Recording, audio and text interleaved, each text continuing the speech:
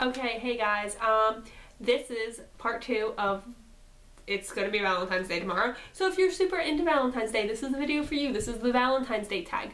My video I'm also posting, which is part one, is the anti-boyfriend tag or anti-significant other tag or anti-girlfriend tag, whatever you want to call it. Um, that tag, that one, that video is also posted. I'll probably try to link it in the description. Um, I just thought the anti-boyfriend tag. I thought it was like last week I found that one, which I don't really see how it's too anti, but like I was gonna use that as Valentine's Day because I'm not a huge Valentine's Day person and I'm single this Valentine's Day. But I thought, hey, I'll also do the Valentine's Day tag for you people that are obsessed with Valentine's Day. So what is your favorite Valentine's Day treat? Um, probably chocolate, like, or if you like made Valentine's Day cupcakes, do they have those? I'm cool with that. Any kind of sweets, I'm cool with. Um, question two, sweethearts or chocolate covered strawberries? Um, gonna say, okay, I love chocolate covered strawberries, but I love those sweethearts. I'm obsessed with those. My mom buys them for me. Um, she didn't this year, but normally I have them like up until Valentine's Day. Like they're chalky. I understand why people hate them, but I like love them. Um, and I love what they say. Sometimes you get really weird ones. And like one year, it was my I think 11th or 12th grade year in high school, my mom had a bag of them for me and I'd give all the really weird ones to my friend and they were like ones, I found one that said like, no, like, or, or like, and then like stop it, like, which were kind of weird. And there were some other really weird ones that I like had found. Um, question three, what was your favorite, your favorite Valentine's Day memory? Um, wait, I'm trying to like see if I'm answering.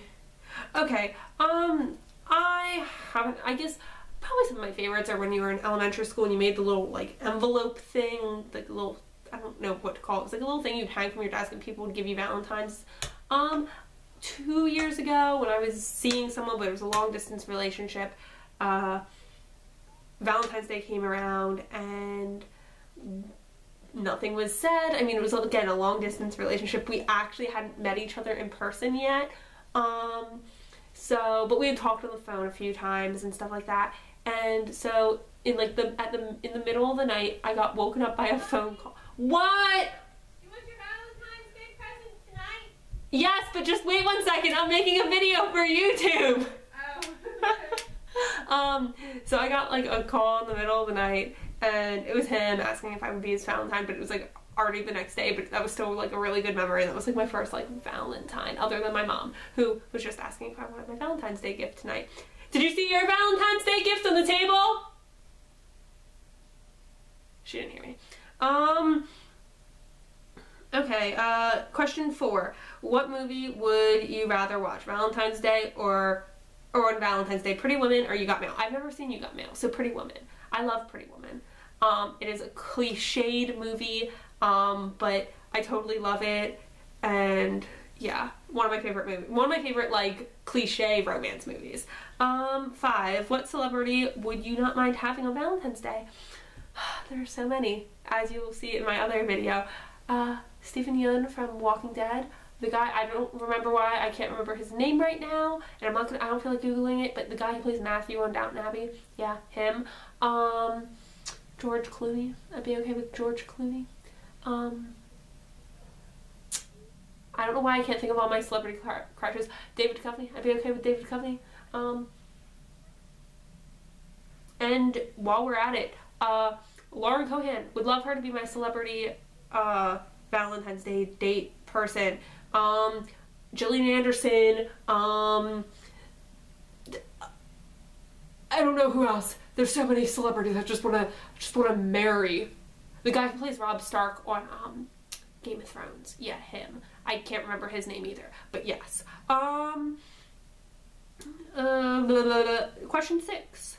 Um, what would you do on your perfect Valentine's Day date?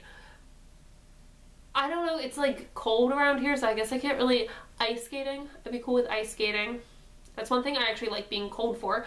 Um, I guess like just honestly again we could order Chinese and sit in our house and binge watch a TV show I'd be perfectly fine with it or if you really want to go all out for me take me somewhere warm. If we're not somewhere warm, take me somewhere warm. Like it is freezing day. I almost got like frostbite, I swear, on my fingers. Um, it's so disgustingly cold out right now. Um, so somewhere warm. Um, number seven, red or pink lips on Valentine's Day. I'm not someone who really wears pink lipstick. Um, I have like one pink kind of lip stain that I like, but I don't really use much. So red. I go with red for my lipstick. Um, eight. What is your ideal Valentine's Day date outfit? Um, I don't know. I don't. Are there ideal Valentine's Day? Oh, I guess that depends on your date. If I'm going ice skating, I'm just gonna wear something that's warm, something like cute and warm. Uh, I guess if I'm going somewhere fancy, um, a nice dress, probably. I don't really red dresses, so probably like I have a lot of black dresses, which isn't really Valentine's Day. I don't know. How do you answer that? Um, I don't have a perfect Valentine's Day outfit. Um, homemade or store bought gifts. Honestly, I'd be okay with either.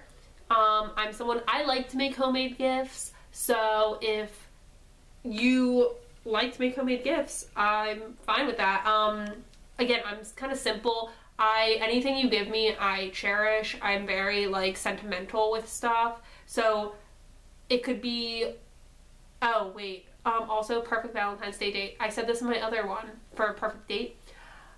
Take me to Build a Bear. So I can make a sloth Build a Bear because they make those now. And they're amazing. So you know what? That's what I want as a Valentine's Day date. I was cried because I found out that they it's a thing. Okay. So store-bought gift again. Build a bear. Sloth. Anything sloth I'm good with. But um again, I'm good with anything. If you want to bake me cookies, I like cookies. That's homemade. I'm cool with that. Um if you're good at making stuff.